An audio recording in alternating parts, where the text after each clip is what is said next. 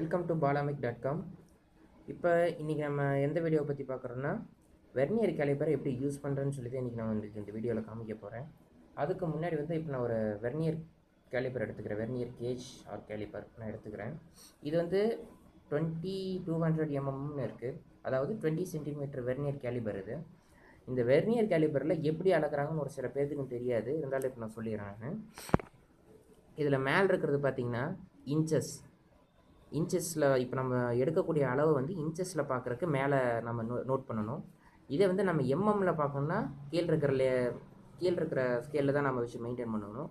இப்போ நீங்கள் முடிஞ்ச அளவுக்கு வந்து உங்களுக்கு இன்ச்சஸில் கேட்கவும் சொல்ல மாட்டாங்க. ஏன்னா இப்போ நீங்கள் மெஷின் ட்ராயிங்ஸ் எடுத்துக்கிட்டிங்கன்னா கீழே வந்து நோட் பண்ணி பார்த்தீங்களா all dimensions are in mm அந்த ஒரு விஷயத்தினால வந்து உங்களுக்கு எல்லாமே வந்து எம்எம்மில் தான் கொடுத்துருப்பாங்க. இன்ச்சஸில் அளக்கிறதுக்கான வாய்ப்புகள் வந்து ரொம்ப கம்மி.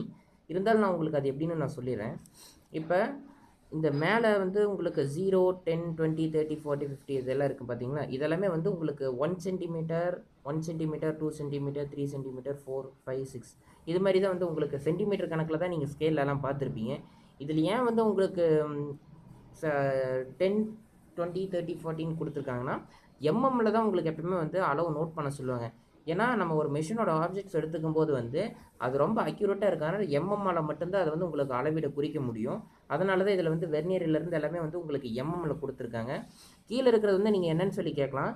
இதை வந்து ஒன் எம்எம்மை வந்து டென் டென்னாக பிரிச்சிருக்காங்க. அதாவது இது எல்லாமே வந்து உங்களுக்கு ஒரு டுவெண்ட்டி சென்டிமீட்டரை எம்எம் எம்எம்மாக மேலே இருக்கிறது பிரிச்சிருக்காங்க. கீழே இருக்கிறது வந்து ஒன் எம்எம்மை டென்னாக பிரிச்சிருக்காங்க. அதுதான் கீழே இருக்கிறதுக்கான அளவு பூரா. இதை வந்து எப்படி சார் யூஸ் பண்ணலாம் அப்படின்னு சொல்லி கேட்டிங்கன்னா இப்போ மேலே இருக்கிற ஜீரோவோட ஜீரோ மேட்ச் ஆகிருக்கு அதனால் இது ஜீரோன்னு சொல்லிடுறாங்க. இப்போ ஒன் செ அதாவது டென் எம்எம் அதாவது ஒன் சென்டிமீட்டர்னால் டென்னுக்கு நேர் மேட்ச் ஆகும்.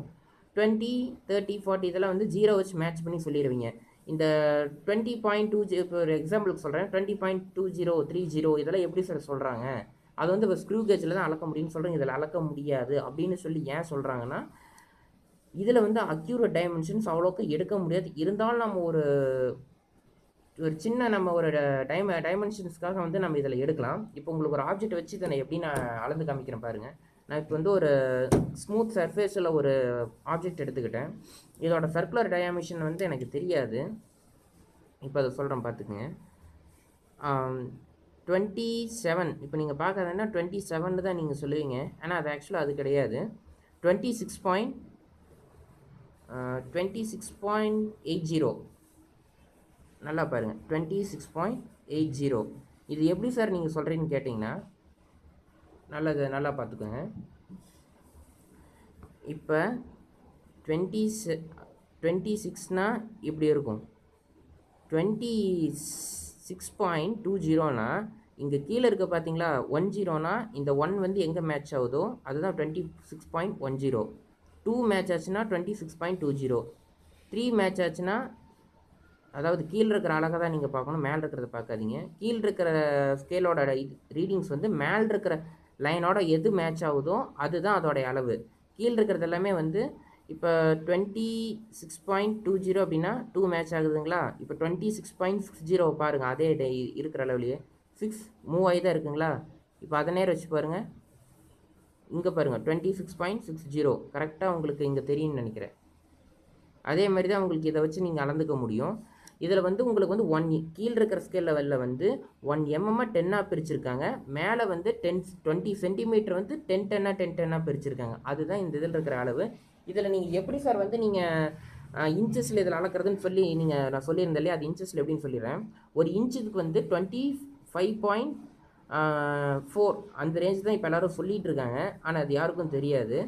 இப்போ மேலே இருக்க வந்து இப்போ ஜீரோ இருக்குது பார்த்தீங்களா மேலே இருக்க இன்ச்சஸ்க்கான ஸ்கேலு மேலே இருக்கிறது எல்லாமே இன்ச்சஸ்ஸு பாருங்கள் zero one two three four இதெல்லாமே வந்து இன்ச்சஸ்ஸு இப்போ மேலே இருக்கிற இன்ச்சஸ்க்கு வந்து நான் கரெக்டாக வந்து ஜீரோ வந்து செட் பண்ணிட்டேன். மேட்ச் ஆகுதுங்களா? One zero match ஆகுதுங்களா?